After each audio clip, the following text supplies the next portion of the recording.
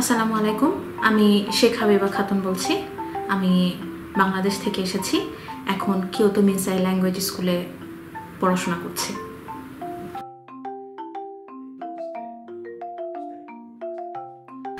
আমি যদি এই প্রশ্নের উত্তরটা করতে যাই, তাহলে একটু লম্বা করে বলতে হয়।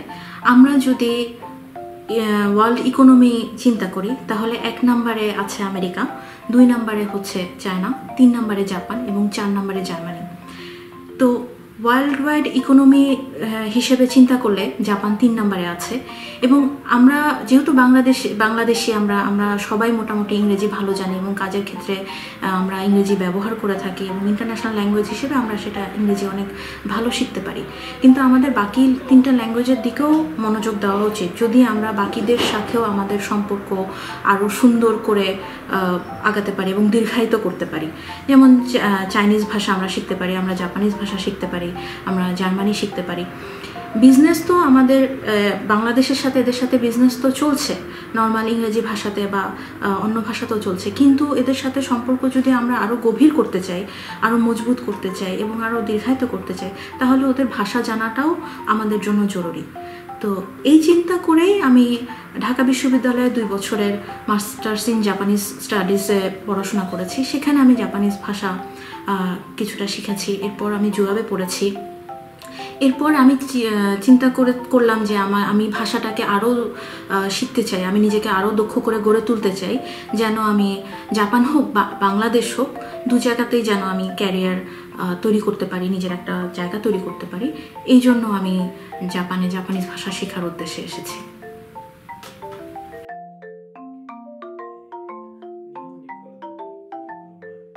আমার স্পন্সর আমার হাজব্যান্ড তো এখানে তো অবশ্যই সে আমাকে নিয়ে প্রাউড ফিল করে। আমার মাও প্রাউড ফিল করে যে মেয়ে দেশের বাইরে পড়তে যাচ্ছে। এখন আমরা মেয়েরা স্বাবলম্বী হচ্ছি, নিজেদেরকে নিজেদের মতো করে তৈরি করছি। এর থেকে বাবা মার বড় চাওয়া আর কি হতে পারে? তো, এবং জাপান যেহেতু সেফ কান্ট্রি সব ছেলে মেয়ে বা সবার ক্ষেত্রেই সুনাম আছে জাপানের এ বিষয়ে। তো এখানে তো দুশ্চিন্তা করার কিছু নেই। তারা অনেক প্রাউড ফিল করেছে সব সময় আমাকে নিয়ে।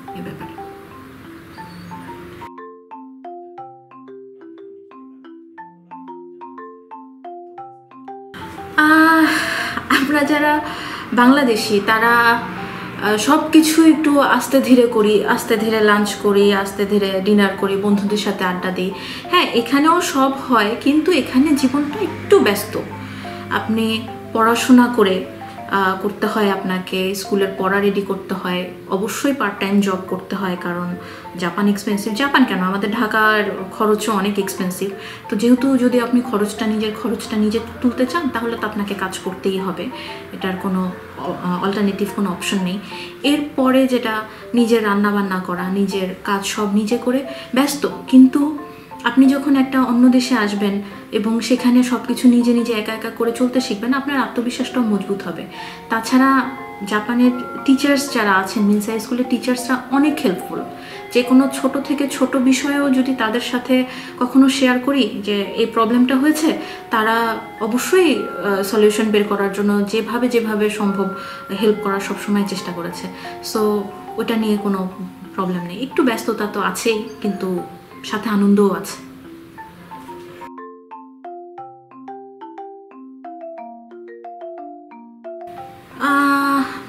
পড়াশোনার পাশাপাশি জব করাটা একটু কঠিন, কিন্তু আপনি যদি কেউ যদি ওভারওয়ার্ক না করে, জানগিও যেটাকে আমরা বলি, যে টোয়েন্টি এইট আওয়ার্স একজন স্টুডেন্টের জন্য বরাদ্দ থাকে, সে যদি অতটুকুর মধ্যেই করে, তাহলে ব্যালেন্স করা সম্ভব।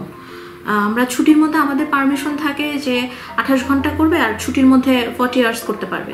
তো এতটুকুর মধ্যে যদি সে তার লিমিট রাখে দেন পড়াশোনার প্লাস সে বাকি আদার্স কাজ করেও জব করেও সে তার লাইফ লিড করতে পারবে। এটা তো প্রবলেম হবে না। কিন্তু সে যদি, না, আমি এখন বেশি টাকা উপার্জন করব, আমার দায়বদ্ধতা আছে, এমন চিন্তা করলে তখন পড়াশোনার জন্য সময়টা কমে আসে।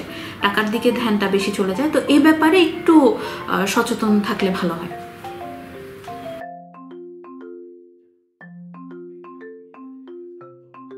আমি এখানে আমরা যেটাকে সুশকু যেটা জব করাকে নিহঙ্গতে সুশকু বলে। আমি এখানে জব করতে চাই নিহঙ্গ ভাষা জাপানিজ ভাষা সর্বোচ্চ যতটুকু আমার পক্ষে সম্ভব অতটুকু পড়ার পরে আমি এখানে জব করতে চাই।